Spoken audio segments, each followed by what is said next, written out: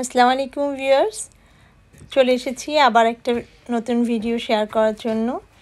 আজকে কি কি করেছি আমার বাগানে এই সময়টাতে সেটাই আজকে আপনাদের সাথে শেয়ার করব। যেহেতু এই সময়টাতে আমাদের এখানে ঠান্ডা পড়ে গেছে, তাই সবাই আস্তে আস্তে করে আমাদের বাগানগুলোকে পরিষ্কার করে ফেলছি। আমিও তাই করেছি, যে গাছগুলো ছিল সেগুলোকে কেটে ফেলে। যখন আসলে সেগুলো থাকে তখন বোঝা যায় না যে কতটুকু আবর্জনা হয়ে যায়। যখন আমরা ক্লিন করতে যাই, তখন দেখা যায় যে প্রচুর পাতা, প্রচুর ডাল, সেই সাথে অনেক কিছু জমে যায়, যেগুলো ক্লিন করা খুবই কষ্টকর।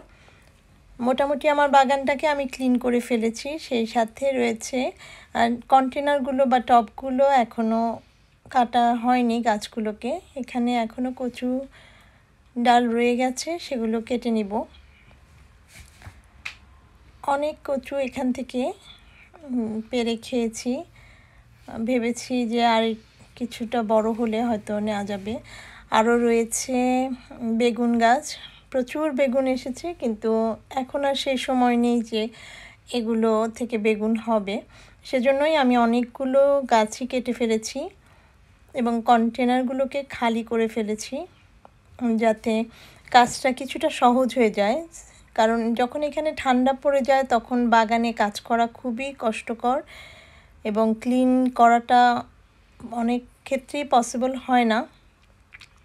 এখনও আমার বাগানে রয়েছে প্রচুর ক্যাপসিকাম, যেগুলো আমি এখনও হারভেস্ট করিনি।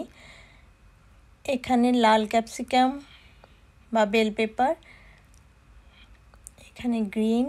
এবং ইয়েলো তিনটাই লাগিয়েছিলাম, তিন কালারে কিন্তু আসলে মিক্স আপ হয়ে গেছে।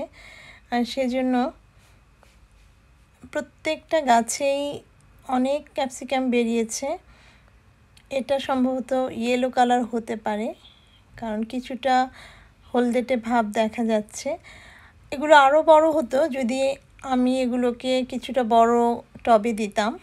তবে কিছুটা বড় হওয়ার সাথে সাথে আমার এখানে ঠান্ডা পড়ে গেছে, সেজন্য তারপরও মাসাল্লাহ এখনও বাড়ছে।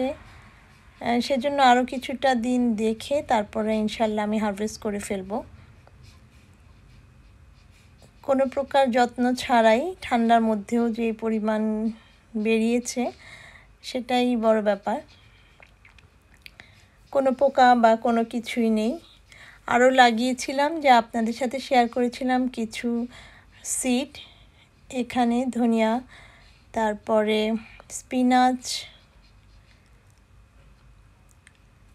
এখানেও সরিষা এবং মেথি, এগুলো ঠান্ডার মধ্যেও হয়, সেজন্যই আমি লাস্ট ইয়ার থেকে এটা লাগাচ্ছি। এটা হচ্ছে সরিষা। এভাবে ছিটিয়ে দিলেই প্রত্যেকটা টবই আমাদের এখন খালি। সো যদি আমরা সেগুলোতেই ছোট ছোট দানাগুলো ছিটিয়ে দেই, কোনো যত্ন ছাড়াই পুরা শাক হয়ে যাবে এবং শীতের সিজনেও আমরা আমাদের বাগান থেকে কিছু শাক খেতে পারব, যেগুলো উইন্টারে খাওয়া যায়। চিলি প্ল্যান্টসগুলোকে আমি পলিটানেলের ভেতরে রেখে দিয়েছি এনে।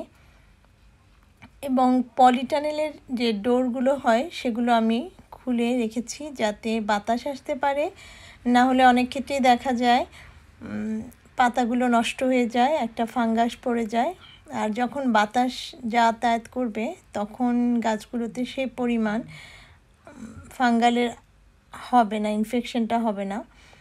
এছাড়া আমি কিছু লেটুস সিড লাগিয়েছি এই ট্রেতে এখানে দেখ আমি শেয়ার করছি আপনাদের সাথে। এগুলো আমার লেটুস সালাদ যেটা লিপস সেগুলো।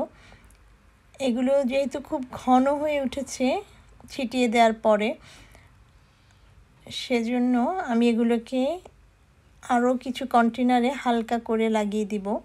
এগুলো জাস্ট সিডগুলো লাগিয়ে দিলেই হয়ে যায় এবং লেটুসটা ঠান্ডার মধ্যে হয়। যে সবজিগুলো এই উইন্টারের মধ্যে হবে, সেগুলো যদি লাগানো যায়, দেখা যায় সে পরিমাণ কষ্ট করতে হয় না। এখানে লাগিয়ে দিয়েছি আমি তুলে কিছুটা এবং আরও কিছুটা হালকা করে দিতে হবে এবং এটা যখন হালকা করে দিয়েছি তারপরে কিছুটা ওয়াটার দিয়ে দিতে হবে। আবার আমি রেখে দেব আমার পলি টানেলের ভেতরে। কারণ প্রচুর ঠান্ডা বাইরে। এখানেও কিছু মূলা শাক অনেক ঘন হয়ে উঠেছে। এগুলোকেও আমি কিছুটা হালকা করে দেওয়ার চেষ্টা করব যাতে যদি মূলা জায়গা পায় তবে মূলাও বের হবে। আসলে এই সময়টাতে এসে আমরা এতটাই, স্পেশালি আমি এতটাই ক্লান্ত হয়ে গেছি গার্ডেনে আর এখন যে সময় দিতে ইচ্ছে করে না। সেজন্য যেগুলো দিয়ে খুব কম পরিশ্রমে করা যায়। তারপরও ভালো লাগে সেজন্যই আসলে করা। এখান থেকে তুলে তুলে এগুলো যে শাকগুলো আমি লাগিয়েছি সেগুলোর জন্য আসলে এক্সট্রা কোনো যত্নের প্রয়োজন হয় না।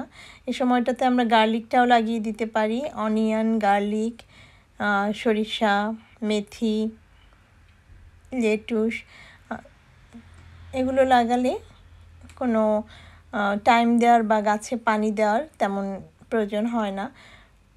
আর আমাদের এখানে এখন কিছুটা বৃষ্টিও হচ্ছে। এখানে আমি তুলে তুলে কিছুটা মূলা শাক তুলে দিয়েছি।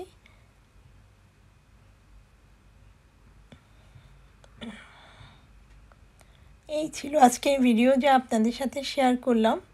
এই সময়টাতে এসে কীভাবে আমরা আমাদের বাগানগুলোকে পরিষ্কার করতে পারি আশা করি আপনাদের কাছে আমার আজকের ভিডিওটি ভালো লাগবে। যদি ভালো লাগে, অবশ্যই আমাকে কমেন্টসের মাধ্যমে জানাবেন এবং বরাবরের মতোই আমাকে সাপোর্ট করে যাবেন, এই প্রত্যাশাই করছি।